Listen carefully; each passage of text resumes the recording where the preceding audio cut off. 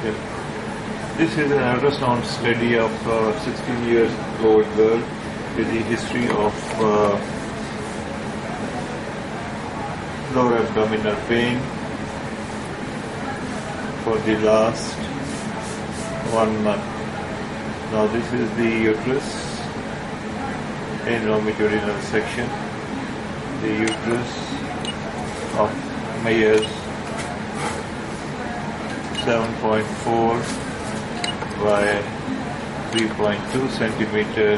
This is the endometrial canal. This is 10, uh, approximately made 11.8. This is the urinary bladder in longitudinal section. This is the cervix. No fluid is seen and there is no focal lesion. The endometrial canal is clear central. Now, this is the right ovary.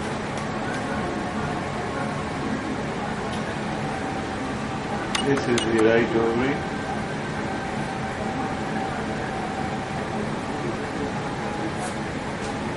Let me clear it for you with the developing follicle seen. Dominant follicle is seen in this ovary.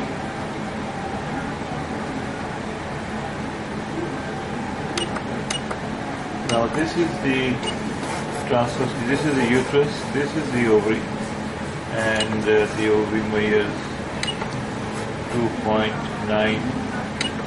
2.3 sorry, by 1.95 millimeters. This is the developing follicle, this is the right ovary, this is the developing follicle, uh, the dominant follicle. So the pelvis is okay. Now when I move to the region of the right iliac fossa, I see a cystic uh, area, thick wall, cystic tubular area. Here it is. This is the urinary bladder. You see, this is the urinary bladder. And here, when I move the probe towards the right iliac fossa, this is the urinary bladder again. This is a urinary bladder longitudinal section, and as, as I move the probe towards the uh, right side, this is a tubular structure, thick wall, internally clear of any calcification, debris, uh, and or any solid element. So this is the Tassidium beta tilacardia this is the cystic area, thick wall, and this is the appendix. This is the appendix, thick wall with internal clear lumen. This is the lumen, and these are this is the wall. Wall appears hypoechoic, but because it gives a long-standing history, so 6.7 millimeter is the thickness of the wall and in longitudinal section you can see a few septa within it.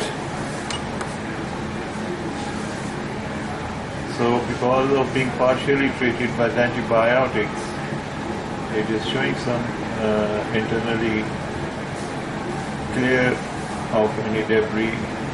Small amount of fluid is seen. This is the fluid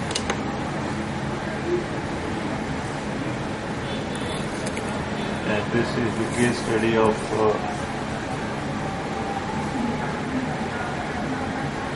appendix. This is small amount of fluid behind this uh, cystic area, thick wall cystic area with thick septas. This is a thick septa and there are a few thin septas as well. With this being the urinary bladder and uh, this being the uterus, the urinary bladder and the cystic area, which is the appendix. Thank you. Now remember that uh, this is something that uh, uh, we also call or remember as mucocele of the appendix and the mucocele of the appendix will give you this appearance as it's internally clear of any debris. Uh, that means no internal echoes are seen in this cystic area, which is appendicular in location. This is the appendix, as it does not relate to the ovaries or any other pelvic organ. It is uh, not relating to any other organ. So uh, this is a mucus, most probably this is a mucocele of the appendix. because, sorry, because no calcification, no solid element is seen uh, within this uh, cystic tubular area. So uh, the possibility of mucocele of the gallbladder cannot be ruled out. Thank you very much.